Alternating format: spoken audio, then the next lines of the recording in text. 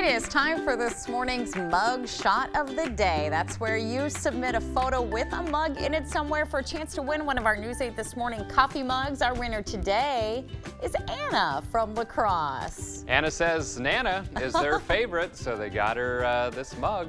I love it. Oh, Anna, we're going to get you one of our morning show mugs. Thanks so much for sharing your photo with us. Now we are going to get you uh, or we want to see, I should say, one of your mug shots. It's a picture with a mug in it somewhere. You saw what Anna did with Nana.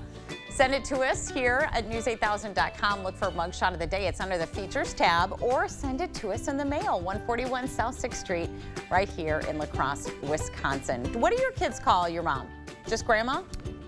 Uh, yes, yes, grandma. I know and I, I called my grandmother Nana. You did? So yeah, they were they were Nan and Gran for short for Nan and Granddaddy. Yeah. So Uh, my daughter, my little daughter, recently got a dog that she's insistent on being the mother, so she's been calling me grandma. I'm like, whoa, whoa, whoa. I like Nana. I think I'll maybe I'll see if I can switch to that.